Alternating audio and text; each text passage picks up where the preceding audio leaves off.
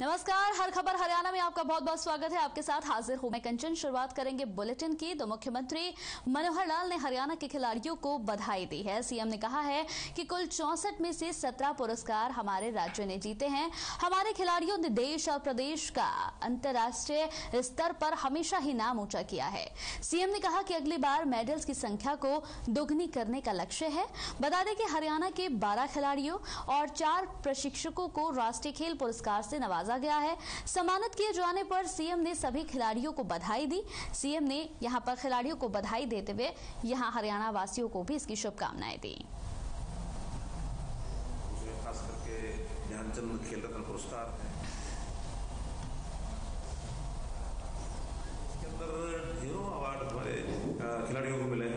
देखिए ये बहुत बड़ा खुशी का अवसर हमारे लिए क्योंकि ओलंपिक में जिस प्रकार हमारे खिलाड़ियों ने इतने मेडल लिए और वो भी एक खुशी का अवसर था, लेकिन आज तो वो खुशी डबल हो गई कि जब राष्ट्रपति जी ने राष्ट्रीय स्तर के ऊपर जो पुरस्कार थे, उसमें खास करके ध्यानचंद खेल रत्न पुरस्कार हैं, उसमें अर्जुन अवार्ड है, उसमें द्रोणाचार्य अवार्ड है, और इसके अंदर ढेरों अवार्ड हमारे अ, खिलाड़ियों को मिले हैं और मैं कहता हूँ कि चौसठ में से सत्रह अवार्ड केवल हरियाणा के खिलाड़ियों को मिले हैं, जो पच्चीस वर्ष से भी ऊपर बनता है। तो इस प्रकार की खुशी का दिन मैं समझता हूँ, अभी हमें लगातार आता रहे।